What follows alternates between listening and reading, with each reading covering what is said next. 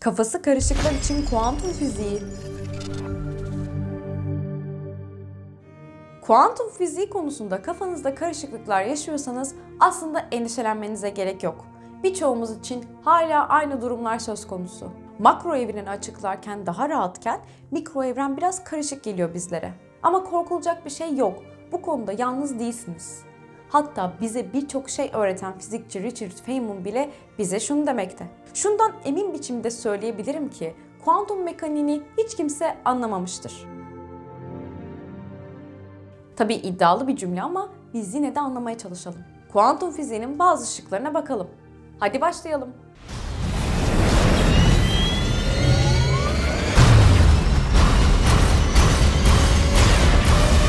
Kuantum fiziği birçok yerde açıklamaya çalıştığımız gibi öncelikle ufaklarla ilgilenir. Bizleri oluşturan atomlar ve onları oluşturan parçacıkların davranışlarını anlamaya, analiz etmeye yarar. Ne kadar ufağa inersek o kadar enteresanlaşır. En ufak, en en ufak yerin Planck sabiti olduğunu söylemiştik hatırlarsanız. Planck sabiti en küçük ölçüyü temsil eder. Ondan daha küçüğü mümkün değildir. Yani sıfırdan en küçük hareket Planck sabiti boyutundadır. Sıfırla Planck sabiti arasında bir noktada hiçbir şey var olamaz. Hareket dediğimiz şey sıfırdan başladığında bir Planck uzunluğu ötede var olmasıyla olur. Kuantum işte bu yüzden miktar anlamında kullanılır. Bu Planck sabitinin miktarları halinde, paketleri halindedir. Bu ne demek oluyor peki? Aslında şu demek oluyor. Kuantum dünyasında her şey seviyelere ayrılmıştır. Örneğin bir atomdaki elektron, atomdaki birkaç tane enerji düzeyinden birinde yer alır. Fakat kuantum dünyası tuhaftır. Elektrona bir miktar enerji verin, anında diğer enerji düzeyine sıçrayacaktır. Buna kuantum sıçraması adı verilir. Bir başka benzetme kullanalım. Eğer bir kuantum arabası sürüyor olsaydınız 5 kilometre, 20 kilometre veya 80 kilometre hızlarda hareket edebilirdiniz. Fakat asla bunların arasında olmazdı. Vitesi değiştirdiniz ve hızınız anında 5'ten 20 kilometre hıza fırlardı. Hızdaki bu değişim ani olurdu. Bu nedenle ivmeyi bile hissedemeyebilirdiniz. Bu da bir başka kuantum sıçramasıdır. Neden peki makro dünyamızın klasik fizik yasalarıyla mikro dünyamızı anlamamızın zor olduğunu söylüyorlar sürekli? Tabii siz anneleri tarafından size emanet edilen çocuklara her bakımdan yetersiz gördüğünüz bir kadının annelik etmesine şiddetle karşısınız ama... İşte ufak mikro dünyayı açıklamaya çalışırken klasik fizik yasalarımızın çalışmadığı bölgede kuantum fiziğine ihtiyaç duyarız. Bir tek atomu ele aldığımızda onun yasaları kuantum fiziğine tabidir.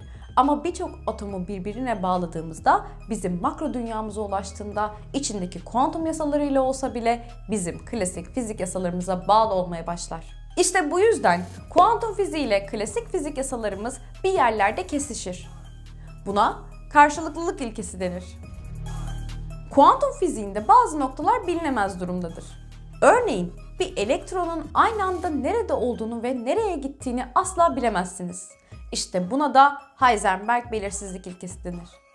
Çünkü elektronun tam olarak nereye gittiğini anlamaya çalıştığımız bir gözlemci yerleştirirsek bu sefer de elektronun gideceği yeri saptırırız. Elektron size nerede olduğunu söyler fakat nereye gittiğini unutur.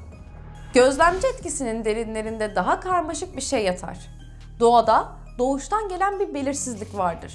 Elektronun nerede olduğu konusunda emin olmamak yaptığımız gözlemin bir hatası değildir. Bunun nedeni elektronun belirli bir konumu olmamasıdır. Elektron bir nokta parçacık değildir. Fakat elektronluğun lekesi uzayda dağılır. Buradan şuna ulaşacağız. Parçacık dalga kirliliğine.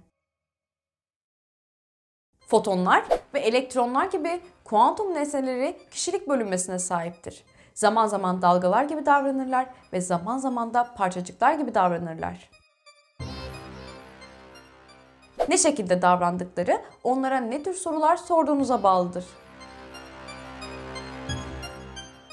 Şimdi içlere doğru devam edelim. Biz bunları açıklarken neler kullanıyoruz bakalım. Mesela dalga fonksiyonu. Nedir bu? Bir dalganın nasıl göründüğünü açıklayan bir parça matematik denklemidir.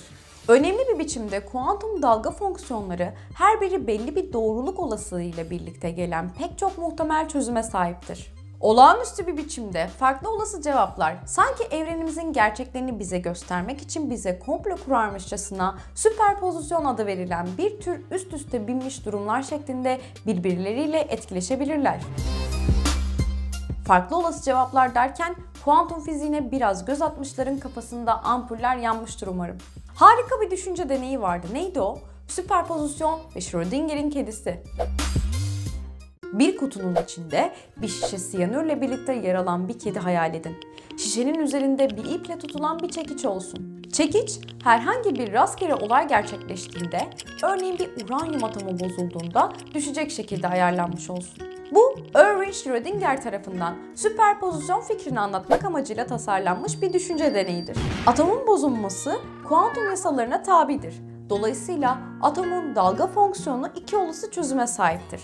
Bozulmuş veya bozulmamış. Kuantum kuramına göre bir ölçüm yapana kadar bu iki olasılık da eşit derecede geçerlidir. Aslında bunu atomun aynı anda hem bozulmuş hem de bozulmamış olduğu şeklinde düşünebilirsiniz. Kedinin kaderi uranyum atomuna sıkı sıkıya bağlı olduğu için kutunun içine göz alana kadar kedi de aynı anda hem canlı hem de ölü olacaktır.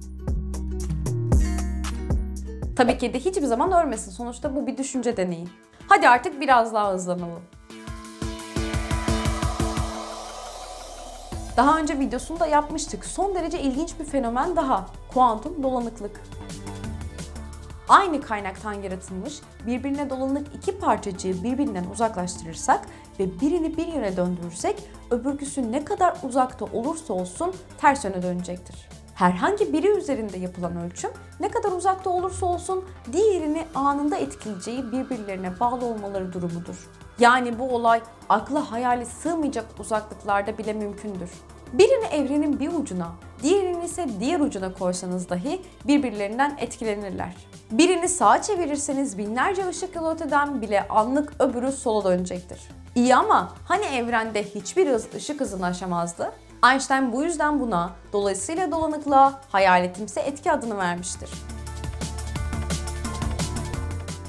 Buraya kadar kuantum mekaniğinin en önemli kavramlarına biraz değinmiş olduk. Tabi bunlara dair deneyler hep devam etmekte. Bunların en ünlüsü de biliyorsunuz çift yarık deneyidir.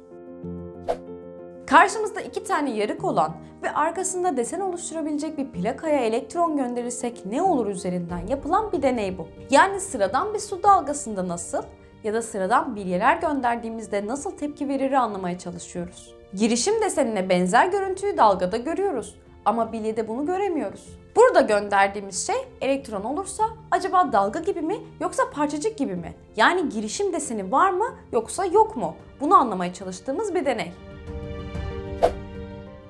Tuhaf olan şey ise elektronların her iki şekilde de davranabilmesidir. Eğer yarıklara elektron ateşlerseniz birim zamanda tek bir elektron gönderirseniz bile yarıkların arasındaki ekran üzerinde bir girişim deseni oluştururlar. Sanki elektron aynı anda iki yarıktan birden geçmekte ve kendi kendisiyle girişime uğramaktadır. Bu bize elektronların dalgalar olduğunu söyler.